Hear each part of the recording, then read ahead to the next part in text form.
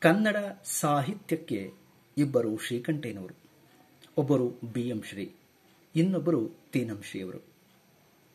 ಒಬ್ಬರು ಕನ್ನಡದ ಕಣ್ವರಾದರೆ ಇನ್ನೊಬ್ಬರು ಕನ್ನಡದ ಕಲ್ಪವೃಕ್ಷ.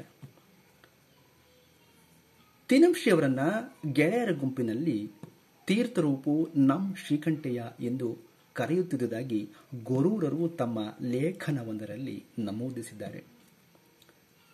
ತೀನಂಶ್ರೀಯವರ ಬದುಕು, ಕನ್ನಡ ಬದುಕನ್ನು ಗಮನಿಸಿದಾಗ ಅವರ ವ್ಯಕ್ತಿತ್ವವನ್ನು ಕಟ್ಟಿಕೊಡಲಿಕ್ಕೆ ಇದಕ್ಕಿಂತ ಸಮರ್ಪಕವಾದ ವಿಶೇಷಣ ಇನ್ನೊಂದು ಸಿಗಲಾರದು.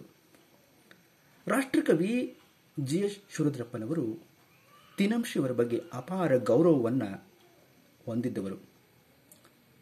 ಅವರನ್ನು ತೆಂಗಿನ ಮರಕ್ಕೆ ಹೋಲಿಸುವ ಮೂಲಕ ತೆಂಗಿನ ಎತ್ತರ ಮತ್ತು ಅದರ ಬಹು ಉಪಯೋಗಿ ಗುಣವನ್ನು ಅವರ ವ್ಯಕ್ತಿತ್ವಕ್ಕೂ ಅನ್ವಯಿಸುತ್ತಾರೆ ಜಿ ಎಸ್ ಎಸ್ ಅವರು.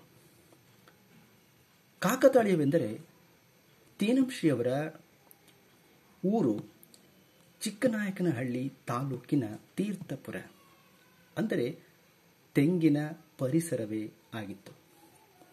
ವಿದ್ವತ್ತು ಮತ್ತು ವಿನಯಕ್ಕೆ ಮತ್ತೊಂದು ಹೆಸರು ತೀನಂಶ್ರೀಯವರು. ಹಾಗಲವಾಡಿ ರಾಜ ಮನೆತನಕ್ಕೆ ಸೇರಿದ ತೀನಾಂಶಿಯವರು ಜನಿಸಿದ್ದು ಸಾವಿರದ ಒಂಬೈನೂರ ಆರು ನವೆಂಬರ್ ಇಪ್ಪತ್ತಾರರಂದು. ಪ್ರತಿಭಾವಂತ ವಿದ್ಯಾರ್ಥಿಯಾಗಿದ್ದ ಶ್ರೀಕಂಠೆಯ ಅರ್ಧ ಡಜನ್ಗೂ ಹೆಚ್ಚು ಚಿನ್ನದ ಪದಕಗಳೊಂದಿಗೆ ಪದವಿಯನ್ನ ಪೂರೈಸಿದವರು. ಇಂಗ್ಲಿಷ್ ಮತ್ತು ಕನ್ನಡದಲ್ಲಿ ಸ್ನಾತಕೋತ್ತರ ಪದವಿಯನ್ನು ಪಡೆದು ಅಂದಿನ ಎಂಸಿಎಸ್ ಪರೀಕ್ಷೆಯಲ್ಲಿ ಉತ್ತೀರ್ಣರಾಗಿ ಅಮಲ್ದಾರ ಹುದ್ದೆಯನ್ನು ಹೊಂದುತ್ತಾರೆ. ಆದರೆ ಬಹುಬೇಗ ತಮ್ಮ ಕ್ಷೇತ್ರ ಇದಲ್ಲ ಎಂದು ಸಾಹಿತ್ಯದತ್ತ ಹೊರಳುತ್ತಾರೆ. ಮೇಷ್ಟ್ರ ಕೆಲಸಕ್ಕೆ ಸೇರುತ್ತಾರೆ. ಮೈಸೂರು ಮತ್ತು ಕರ್ನಾಟಕ ವಿಶ್ವವಿದ್ಯಾಲಯಗಳಲ್ಲಿ ಪ್ರೊಫೆಸರ್ ಆಗಿ ಪಾಠ ಹೇಳಿದರು. ಕನ್ನಡ ಮತ್ತು ಇಂಗ್ಲಿಷ್ನಷ್ಟೇ ಸಂಸ್ಕೃತದಲ್ಲೂ ಅಪಾರ ಪಾಂಡಿತ್ಯವನ್ನು ಪಡೆದರು ಶ್ರೀಕಂಠಯ್ಯನವರು.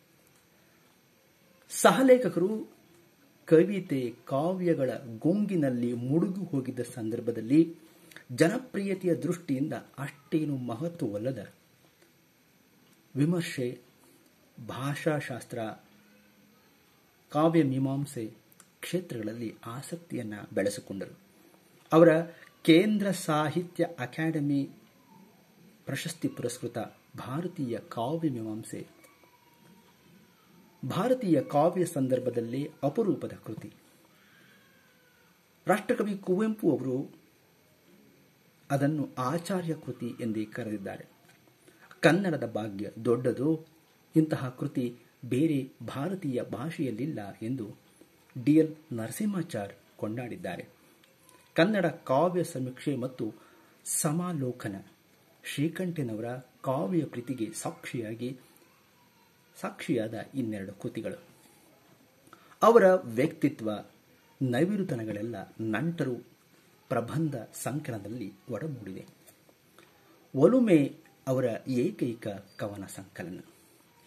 ಕನ್ನಡಕ್ಕೆ ಶುದ್ಧ ಪ್ರೇಮವನ್ನು ಪರಿಚಯಿಸಿದ್ದಕ್ಕಾಗಿ ಮೈಸೂರು ಮಲ್ಲಿಗೆಯ ಕೆ ಎಸ್ ನರಸಿಂಹಸ್ವಾಮಿಯವರನ್ನು ನೆನೆಯುತ್ತೇವೆ ಕೆ ಎಸ್ ನರಸಿಂಹಸ್ವಾಮಿಯವರ ಮೈಸೂರು ಮಲ್ಲಿಗೆ ಕವನ ಸಂಕಲನಕ್ಕೆ ತಿನಂಶ್ರೀಯವರ ಒಲುಮೆ ಕವನ ಸಂಕಲನ ಮುನ್ನುಡಿಯಾಗಿರುವುದನ್ನು ನಾವು ಗಮನಿಸಬಹುದು. ನಿಘಂಟು ಅನುವಾದ ಕ್ಷೇತ್ರದಲ್ಲೂ ತೀನಂಶ್ರೀಯವರ ಛಾಪಿದೆ. ಸಂಸ್ಕೃತದ ನಾಟಕ ಮತ್ತು ಮುಕ್ತಕಗಳನ್ನು ಕನ್ನಡಕ್ಕೆ ತಂದ ಶ್ರೀಯವರು ಇಂಗ್ಲಿಶಿನ ಪ್ರೆಸಿಡೆಂಟ್ ಶಬ್ದಕ್ಕೆ ಸಂವಾದಿಯಾಗಿ ಭಾರತೀಯ ಪದದ ತಲಾಶಿ ನಡೆದಿತ್ತು ಆ ದಿನಗಳಲ್ಲಿ. ರಾಷ್ಟ್ರಪತಿ ಎಂಬ ಶಬ್ದವನ್ನು ಸೂಚಿಸಿದವರು ತೀನಂಶಿಯವರು. ಇಂದು ರಾಷ್ಟ್ರಪತಿ ಶಬ್ದದ ಬಳಕೆ ಸರ್ವೇ ಸಾಮಾನ್ಯ.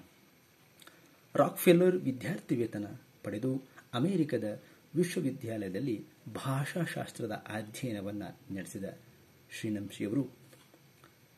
ರಾಜ್ಯದ ವಿಶ್ವವಿದ್ಯಾಲಯಗಳಲ್ಲಿ ಅಧ್ಯಯನಕ್ಕೆ ಬಲವಾದ ನೆಲೆಯನ್ನು ಒದಗಿಸಿದವರು.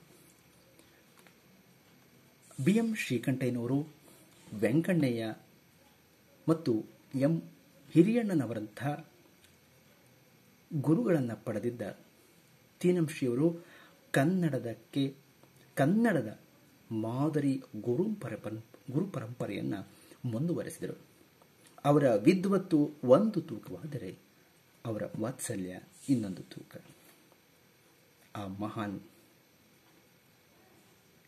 ಸಾಹಿತಿಗೆ ದಾನಿಗೆ ನನ್ನ ಕೋಟಿ ನಮಸ್ಕಾರಗಳು.